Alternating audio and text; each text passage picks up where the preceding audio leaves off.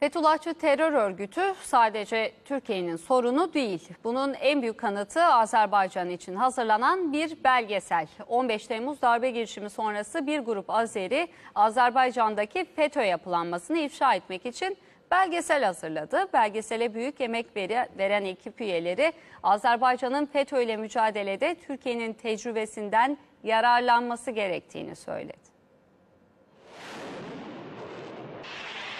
Türkiye'nin 15 Temmuz gecesi yaşadığı darbe girişimi Azerileri de harekete geçirdi.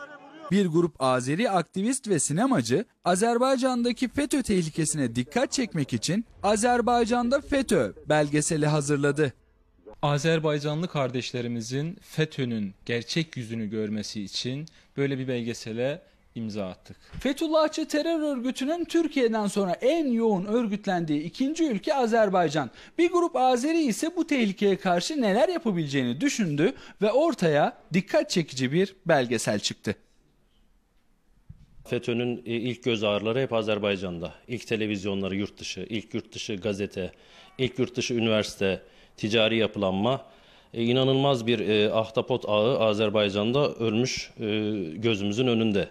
15 Temmuz örneğini gördükten sonra bu tablonun Azerbaycan'da yaşanmasın diye Azerbaycan milletini ve Azerbaycan hükümetinin yetkililerini bir nebze olsun e, FETÖ konusunda dikkat çekmek, uyarmak için böyle bir çalışmanın içine girdik. Türkiye'nin FETÖ ile mücadelede artık tecrübe kazandığını ifade eden belgesel ekibi üyeleri, Azerbaycanlı yetkililerin de bu tecrübeden yararlanması gerektiğini vurguluyor. Zaten belgeselde de birçok Azeri devlet yetkilisi yer alıyor.